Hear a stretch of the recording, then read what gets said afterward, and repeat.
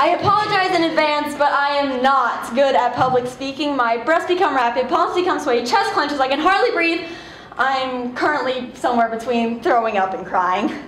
This is one of my worst fears next to grasshoppers and death, but I have to face it at a place where I am forced to go almost every day for 12 years. School. School is supposed to be this place where you feel safe and where you learn. Well, the Optimist speech freshman year, or we had to do a speech unit freshman year, that almost murdered me. We had to do an optimist speech, which is hard enough for me, the pessimist, but on top of that, it had to be five minutes long. 300 seconds, each second passing endlessly in my head, and guess what? I almost blacked out.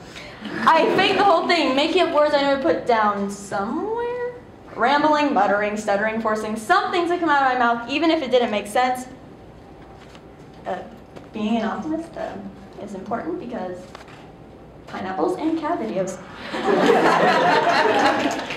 I wish public speaking was easier because I would do the things I love but terrify me to the point of tears. I would do theater and bask in the burning bright lights and enjoy myself. I would join choir and sing like a canary in the mines. I would read my poetry without shaky hands, and I wouldn't be scared when a teacher calls on me in class.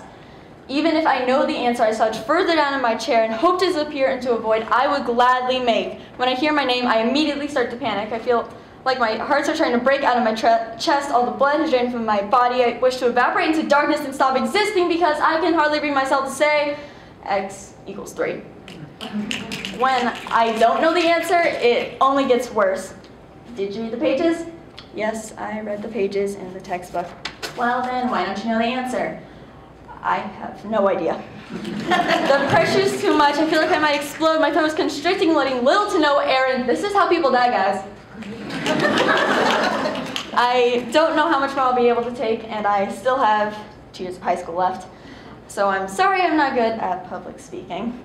Writing is so much easier. Put words on the paper and no one judges me. I mean, you're actually judging me, but you know, you seem nice. Instant feedback is the scariest thing to me. Even though it can't physically hurt me, I'm still scared for my life.